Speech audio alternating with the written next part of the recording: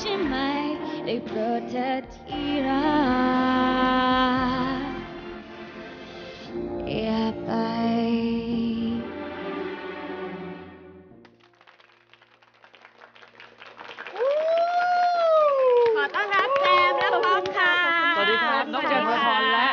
เอกมิวสิกวิดีโอนะฮะมาเชิญเลยน้องเชิญป๊อปเชิญ สุภสิทธิ์ค่ะ นะครับ สวัสนึกดีว่าคู่นึกว่าจะร้องด้วยกันอ๋อเปล่าครับ เรามาเป็นพระเอก MV เฉยแล้วเมื่อกี้ใช่ครับ เขาหยิบโทรศัพท์ขึ้นมานั่งคุยแล้วผมก็ถามทีมงานว่าอ้าวน้องเขาคุยโทรศัพท์กับใครอะ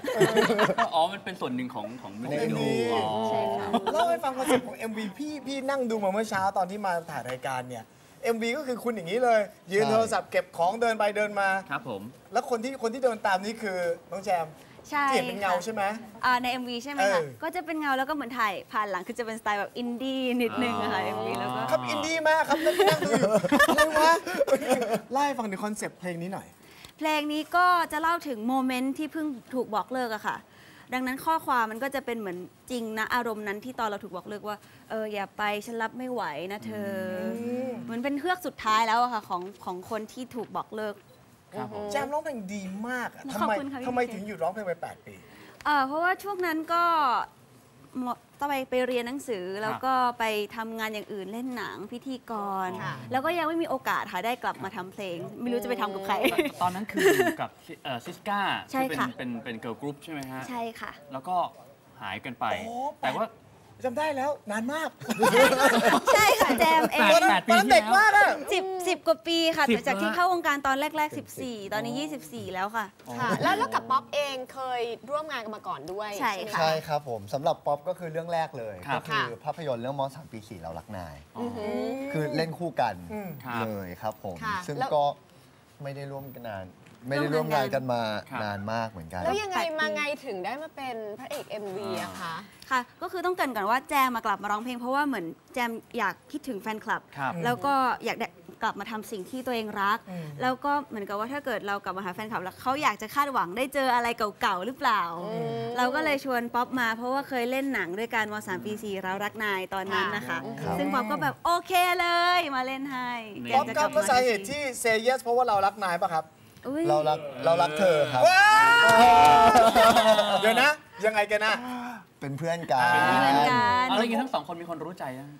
มีคนหรือรู้ว่าทั้งใจสองหรืคนอยังเป็นคนรู้ใจของกันและกันแต่ว่ายังชแบบงป็มากเลยนะเพื่อนๆอะไรอย่างนี้หรือเปล่า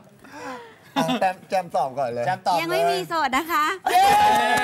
ป๊อปละคะป๊อปละคะป๊อปก็ยังมีเป็นเพื่อนสนิทกันอยู่ครับ ผมเพื่อนสนิทช่วยกันสนิทำทงานอ๋ออ๋อ พี่เหมือนพี่เหมือนครับพี่พีเคเป็นเพื่อนสนิทกับโยเกิร์ตนี้ใช่ไหมไม่อ่าแฟนเลยแฟน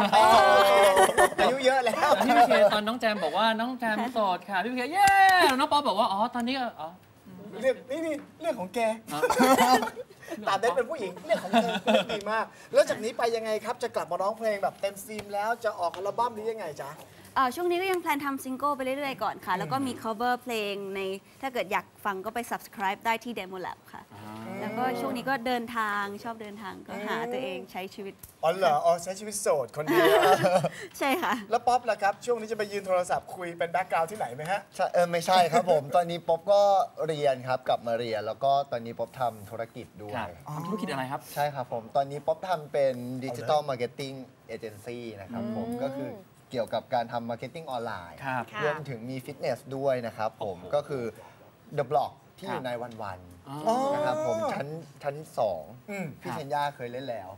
ที่เราเคยมาที่นี่ทำอะไรครับบ้างครับใน The Block ก็จะเป็น class trampoline นะครับผมอ๋อที่โดดดึงดึงดึง ใช่ที่กระโดด แล้วตอนนี้มันมีคลาสใหม่กำลังจะออกมาแล้ว นั่นก็คือครับ class drum นั่นเองก็คือเอาไม้กลองครับมารวมกับการเล่นเทมโพลีน ครับ ตีกลองไปด้วยแล้วกระโดดเทมโพลีนไปด้วยใช่นะใช่เฮ้ยใช่จะพี่เป็นจังหวะ พี่เดินแล้วเคี้ยวหมากฝรั่งยังสะดุดเลยนะแล้วคุณสามารถกระโดดแล้วตีกลองได้ได้ครับ ผมเชื่อว่าได้เพราะเหรอเฮ้ยใช่น่าสนใจครับผมมากนี่เริ่มเมื่อไหร่ครับอันนี้เริ่มแล้วครับอืม launch class ออกไปแล้วนะครับผมก็สามารถติดตามได้ค่ะ IG ก็ได้ครับ at the block underscore one one one นะครับผมอ่าเลยครับนี่แจมครับถ้าเกิดมีซิงเกิลใหม่มาเมื่อไหร่ แวะมาทักทายที่ตื่นมาคุยด้วย ได้ค่ะยินดีมากเลยค่ะ ขอบคุณทั้งสองคนครับ ขอบคุณนะคะขอบคุณนะคะ ข